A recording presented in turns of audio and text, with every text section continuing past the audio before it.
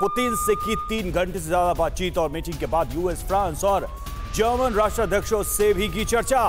Putin से अपनी meeting के बारे में जानकारी दी तो लगातार कोशिश इसराइल की तरफ़ से।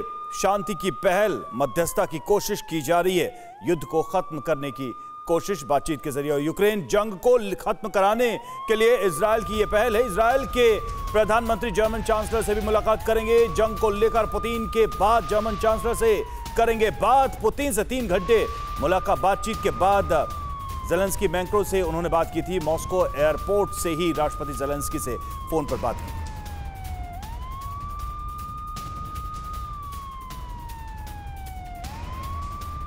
परवाह देश की। सोमवार से शुक्रवार रात 10 बजे टीवी 9 भारतवर्ष पर।